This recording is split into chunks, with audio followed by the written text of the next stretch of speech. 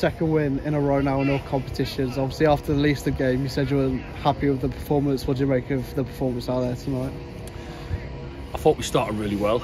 Um, our game plan was to come and press them and, and sort of go man man to man. Um, the, the, the two early goals is obviously great, um, and maybe we probably should have scored a third straight after.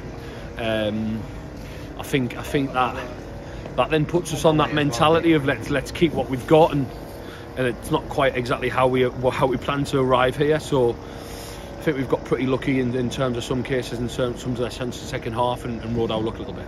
Uh, you mentioned the goals. And obviously, the first one came from a corner. Did it feel kind of good to get a goal from a set piece? Yeah, and, and to be fair, Tristan has worked lots lots on set pieces since coming in, so so he deserves a little bit of credit for that. And um, the uh, obviously the second goal, Jake runs in behind really well and sets up Inih. And like I said, our game plan for the first 30 minutes, I thought was a really good game first 30 minutes, but I mean they're a good side and, and they put the foot on the gas and, and their rotations out wide and they make it really difficult to get hold of them. So like we, we probably we started in a 3-5-2 and moved into 4-3-3 and ended up back in a 3-5-2, which which probably has it suited us a little bit better.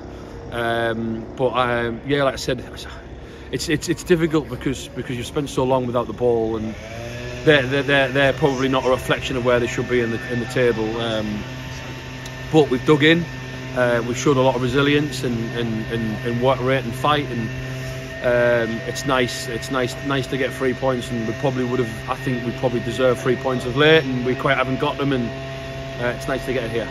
Uh, obviously, we've got two more away games after this at Bromley and Maidstone. Do you think, after, especially after such a, a, long journey up here, was it good to get the points and maybe that can motivate us to get the points again next week?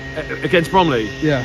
Yeah, I mean, I mean, they don't get. I mean, it's, another tough trip, right? And uh, it doesn't get any easier, and they're doing really well in the league, and they're sort of like they're in good form. So it's one of those where we. It, it's nice to get three points. I don't think we've quite deserved the run we've had, but but we have, and, and, and that is what it is. And like I said, we've rode our luck tonight, and, and there's probably a lot of people who've been here who are quite sort of like, yeah, we're happy to get three points, but in reflection, there's things we've got to do a little bit better. Obviously, it seemed like a game of two halves from the sideline. Uh, the first half we were on top, second half not so much. But I think we could say maybe the second half is going to really boost the, the confidence of our defence because I think we held it really well in defence. I think, yeah, I agree. I think we're better. We're better. Well, I say we're better we're good. We're not bad defending deep, even though we have conceded chances there.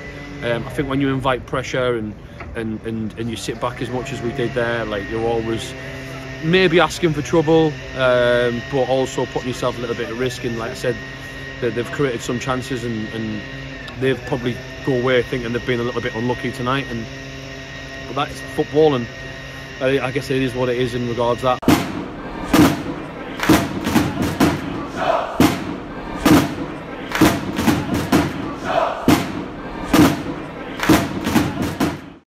Click here for the latest match highlights and click here to subscribe. Are you in with a shot? Look below for more information.